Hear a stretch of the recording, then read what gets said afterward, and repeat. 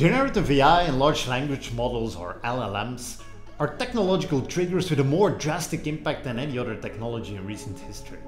And at MetaMaze, we've been training these LLMs in production at scale for a couple of years now. In fact, we're currently running more than 800 private LLMs for all kinds of intelligent document processing tasks. But the difference with generative AI is that these models are task-specific LLMs. They're trained to do exactly one thing. And a lot of customers and partners ask us how we see generative AI and what value it can bring.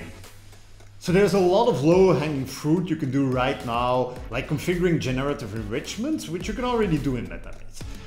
And we're also currently testing using GPT-4 for pre-annotation, and that will be released soon as well.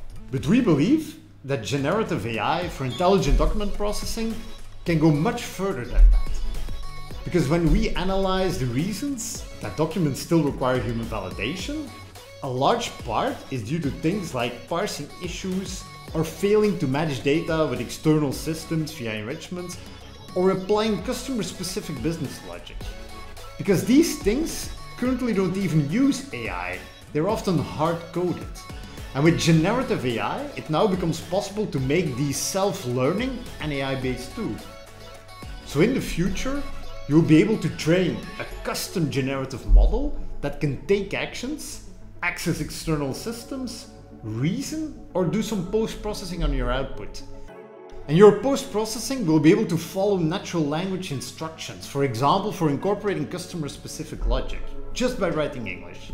We think this is the next step for intelligent document processing.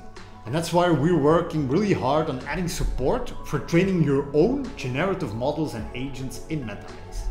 And of course, these generative agents will be adaptive. They will be private to you and your data, and they will continuously learn from feedback. At MetaMaze, we will keep investing heavily in our AI technology and we will make sure our customers can build their own custom generative intelligent document processing pipelines.